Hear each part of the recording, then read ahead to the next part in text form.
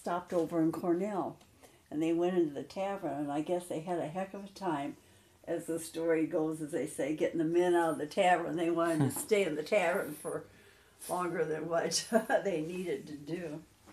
These pictures here, like this, and, and uh, those are all men and women standing. The ones in white are the female nurses and things.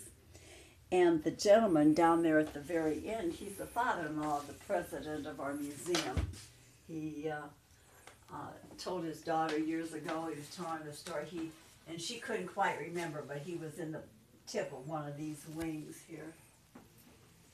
And they, back then, she says, I remember asking Daddy, she says, how they took those pictures, and they went up in a hot air balloon.